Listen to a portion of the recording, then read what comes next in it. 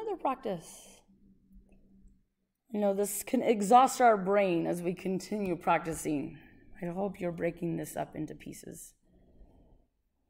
So, here, go ahead and read, answer, and then go through the solution.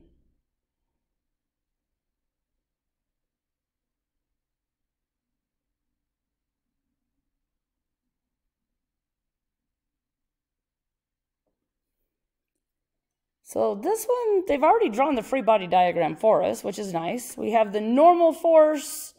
They've labeled it as capital N instead of lowercase n. That's fine. It still represents the surface pushing on the block. mg, always straight down towards the center of the earth.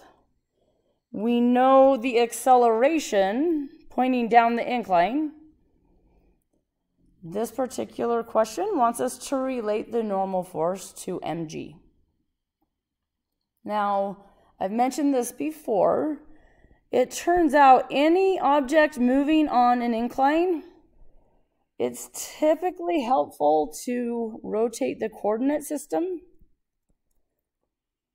Not only because it can decrease the number of components of vectors we need to find, but it will also make it in this problem, since the block is accelerating down the incline, its acceleration is completely in the x direction of this rotated coordinate system. And we can say the acceleration in this rotated y direction is zero. If we do not rotate the coordinate system, we have to break this acceleration into x and y components, which is totally doable, but it increases the algebra and relating the unknowns together. So just a reminder, any problem where an object's on a slope, hill, incline, for simplifying the problem's sake, rotate the coordinate system. So here in this rotated coordinate system, there's no acceleration in this new y direction. There's no acceleration perpendicular to the incline, which means we can balance the forces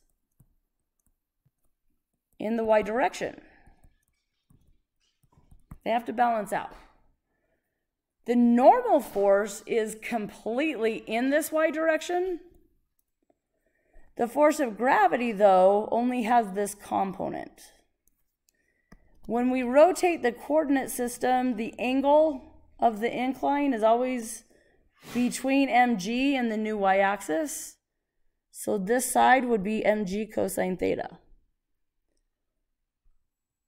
Having no acceleration in that direction means the normal force must equal mg cosine theta.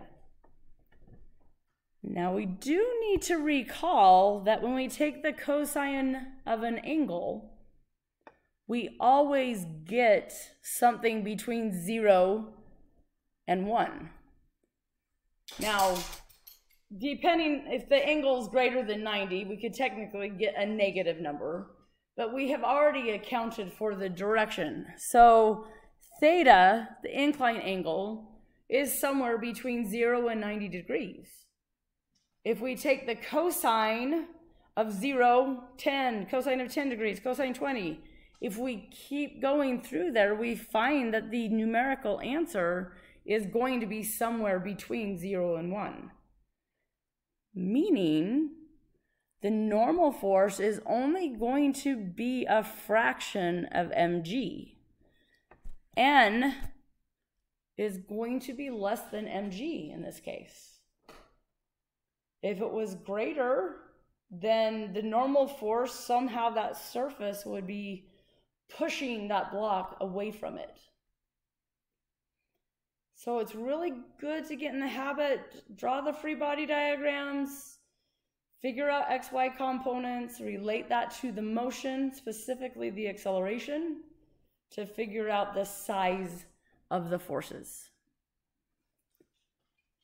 Okay, we're gonna have one more example in the next video and then we'll actually start solving numerically, solving problems.